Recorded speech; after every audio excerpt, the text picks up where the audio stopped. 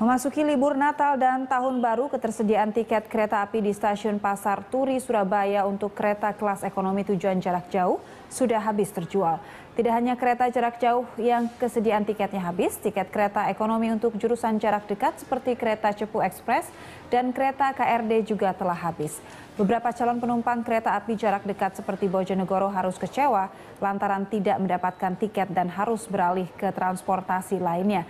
Sementara itu meski mengalami peningkatan jumlah penumpang, pihak kereta api Indonesia Daops 8 Surabaya tidak akan menambah gerbong tambahan dan lebih memaksimalkan kereta yang ada.